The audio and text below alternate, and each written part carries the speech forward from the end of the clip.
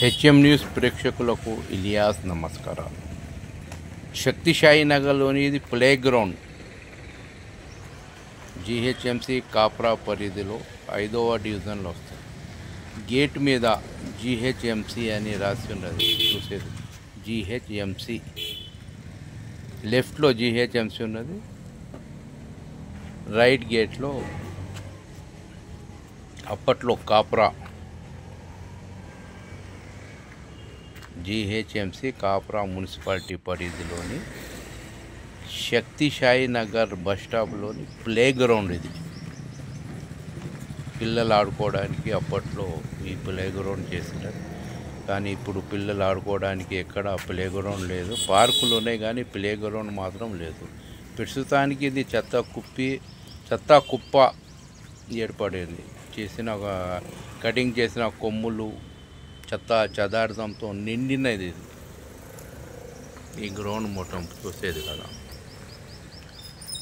ఈ యొక్క గోడకి ఆనుకొని చాలామంది చెత్త చెదార్థం తెచ్చి ఇక్కడనే పారేస్తారు.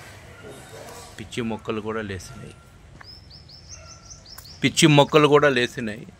ఇంకోటి నలుమూలాల ఇక్కడ బౌండరీ వాల్ ఉండటం వలన స్థానికులు ఈ బౌండరీ వాల్ పైనుండి లోపలేస్తారు. ఈ చెత్త ఇదే విధంగా ఉన్నారు పక్కన వాళ్ళు చుట్టుపక్కన వాళ్ళు ఇక్కడ ఈ చెత్త కూడా వేస్తున్నారు. చెత్త కుప్పలు మారినాయి ఇక్కడ. ఇప్పుడు రాబోయేది వర్షాకాలం.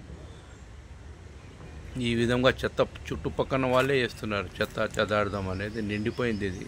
గోడకి ఆనుకొని వాళ్ళు గోడ అటువైపు నుండి నించుని లోపల వేసేస్తారు చెట్లు కొమ్మలు మొత్తం ఈ లోపల రావడానికి వీల్లేదు. చూసేది ఈ యొక్క దృశ్యాలు మొత్తం ఇది. శక్తిశాయి నగర్ బస్టాప్లోని ప్లే గ్రౌండ్ పార్క్ ఇది. ఐదవ డివిజన్ కాపురా మున్సిపాలిటీలోని ఐదవ డివిజన్ కింద వస్తుంది ఇది.